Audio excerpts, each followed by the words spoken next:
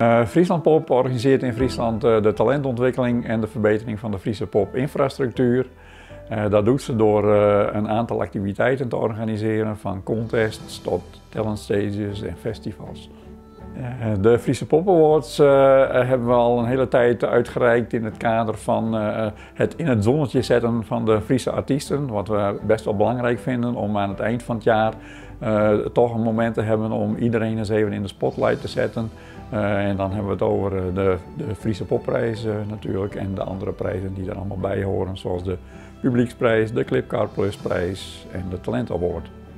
Wij sponsoren de publieksprijs omdat wij het als Friesland Pop natuurlijk belangrijk vinden om uh, te zien uh, wat het grote publiek in Friesland uh, interessant vindt en wat daar zeg maar de highlights van het jaar geweest zijn.